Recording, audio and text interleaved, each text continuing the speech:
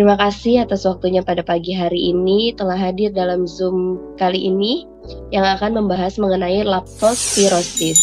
Bahasan mengenai leptospirosis ini akan dibawakan oleh Bapak Afdalus Zikri. Maka dari itu langsung saja saya persilakan Pak Zikri untuk memulai penjelasannya. Baik, uh, terima kasih pada uh, Mbak Luisa untuk waktu dan kesempatannya.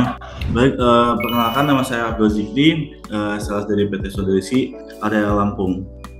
Baik, pada hari ini saya akan membawakan presentasi dengan judul uh, leptospirosis. Nah, alasan sendiri uh, saya mengambil judul ini karena saya rasa banyak peternak yang selama ini uh, menyepelekan penyebab dari uh, leptospirosis ini, padahal uh, bisa berdampak fatal bagi uh, suatu peternakan. Untuk yang pertama pendahuluan Leptospirosis adalah penyakit uh, zoonosis disebabkan oleh infeksi bakteri yang berbentuk spiral dari genus Leptospira. Leptos, uh, leptospirosis uh, tersebar luas di seluruh dunia, terutama pada daerah tropis. Penularan leptospirosis pada manusia terjadi secara kontak langsung dengan hewan ter terinfeksi leptospira atau secara langsung melalui genangan air yang terkontaminasi urin yang terinfeksi uh, leptospira. Nah, bakteri ini uh, masuk dalam tubuh melalui kulit yang luka atau membran mukosa. Nah, di sebelah kiri ini uh, saya uh, melihatkan ilustrasi dari uh, bakteri leptospiranya itu yang tadi sebut ini. Nah, kemudian lanjut ke etiologinya. Uh, leptospirosis disebabkan oleh bakteri Leptospira interrogans yang berbentuk spiral, tipis, lentur, serta memiliki dua lapis membran. Nah, bentuk dan gerakannya dapat dilihat dengan mikroskop medan gelap atau mikroskop uh, fase kontras. Nah, kehidupan leptospira terhambat pada pH di bawah 6 atau lebih besar dari pH 8. Nah, dan juga eh, kehidupannya terancam pada suhu lebih rendah dari 7 sampai 10 derajat Celcius atau lebih tinggi dari 34 eh, sampai 36 derajat Celcius. Nah, saya jelaskan sedikit untuk uh, bakteri Leptospira ini, uh, dia dihasilkan oleh tubuh, apa tubuh uh, ternak dan dikeluarkan melalui urin. Nah, setelah di, di luar tubuh itu dia apabila di tanah yang kering atau di semen yang apa lantai yang kering itu dia hanya bisa bertahan di 30 menit.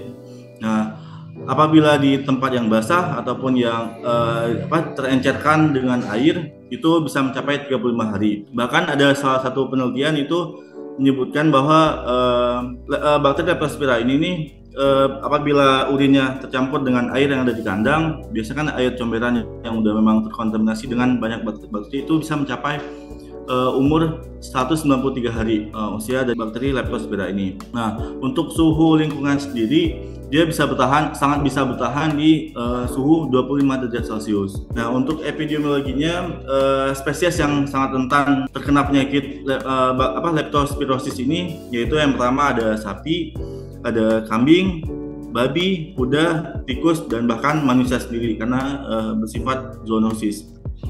Nah, ini juga ada sedikit uh, gambar dari uh, bak, apa bakteri uh, leptospir leptospiranya yang menggunakan mikroskop. Itu uh, gejala klinisnya itu yang pertama pada hewan ternak manusia dan babi yang yang bunting yaitu uh, gejala abortus, uh, pedet, pedet, pedet lahir mati atau lahir dalam keadaan lemah. Terus uh, ada pada sapi muncul demam dan penurunan produksi susu. Sedangkan pada babi sering muncul gangguan reproduksi. Pada kuda terjadi keratitis, konjungtivitis, iridosiklitis, uh, jaundice atau kuningan uh, apa kulit kuning uh, sampai abortus. Nah, pada anjing, infeksi leptospirosis sering bersifat subklinis.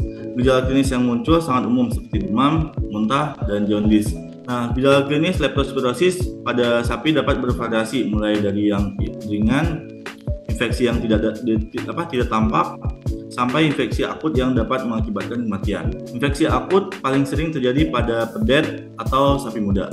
Nah, setelah itu ada pengendalian. Nah, pencegahan atau pengendaliannya uh, dapat dilakukan dengan cara memutus siklus penularan uh, melalui pengobatan yaitu dengan antibiotik dan juga vaksinasi bagi ternak atau hewan kesayangan mengurangi populasi tikus dan meningkatkan sanitasi lingkungan. dalam upaya pencegahan leptospirosis pada manusia memerlukan aktivitas terintegrasi antara dokter hewan dan dokter manusia dan peningkatan pengetahuan serta pemahaman uh, masyarakat terhadap bahaya leptospirosis. Nah, jadi salah satu faktor lingkungan juga dari tikus yang ada di kandang gitu. Setelah itu ada uh, pengobatannya. Nah, untuk pengobatannya itu uh, cukup dengan apa bisa dengan uh, treatment antibiotik dan juga pemberian vitamin spotting untuk mengembalikan stamina tubuh dari ternak tersebut. Nah, untuk produknya sendiri dari PT Swadeshi Sentosa uh, punya Oxta LA yaitu dengan kandungan oksitetracycline uh, long acting dan juga metabolase itu uh, vitamin spotting yang lengkap dengan subitol dan juga carnitin dan juga uh, banyak uh, kandungan yang lainnya yang bisa mendukung untuk mengembalikan stamina dari tubuh ternak. Gitu. Mungkin sekian yang dapat saya sampaikan. Uh, apabila ada pertanyaan yang mungkin masih menjanggal bisa uh, dipertanyakan. Nah, berikutnya saya kembalikan ke Bu Luisa. Baik, terima kasih Mas Sikri atas penjelasannya mengenai leptospirosis. Bapak Ibu mungkin ada pertanyaan atau ada yang mau ditambahkan dari penjelasan Mas Sikri tadi, saya persilakan saya buka untuk ruang diskusinya. Ada? Baik. Saya mau bertanya. Ya, silakan Mbak Riza nanti langsung dijawab sama Mas Sikri. Ah ya, uh, sebelumnya terima kasih untuk uh, presentasi yang sudah disampaikan. Perkenalkan saya Orisa dari Cirebon. Uh, yang ingin saya tanyakan itu un, bagaimana dengan uh, perubahan pada organ hewan yang terkena uh, leptospira, leptospirosis. Terima kasih. Baik, terima kasih untuk pertanyaannya Mbak Riza.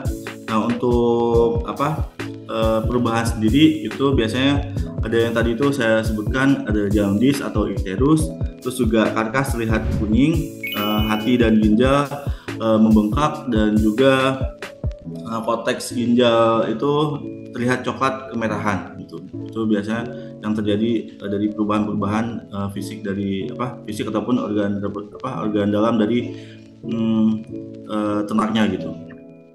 Mungkin sekian. Sudah cukup Mbak Riza? Atau ada lagi? Ya cukup Mbak, terima kasih. Baik, terima kasih. Ada lagi dari Bapak Ibu yang lain? Kalau sudah tidak ada untuk ruang diskusinya saya tutup. Mas Zikri, saya persilakan untuk sedikit kesimpulannya atas presentasi pagi ini. Baik, terima kasih untuk uh, pertanyaan dan apa uh, kesempatannya. Uh, untuk kesimpulannya sendiri yaitu uh, di saya pentingnya manajemen sanitasi dan juga pengelolaan kebersihan lingkungan yang baik. Karena uh, dari suatu hal yang uh, dianggap sepele atau dianggap gampang itu malah bisa berdampak fatal bagi produksi ternak dan juga angka bisnis bagi peternak. Mungkin sekian uh, kesimpulan yang dapat saya sampaikan. Uh, lebih dan kurangnya saya mohon maaf. Assalamualaikum warahmatullahi wabarakatuh. Baik, saya tutup untuk presentasi pagi ini. Terima kasih sekali lagi Bapak Ibu yang telah hadir.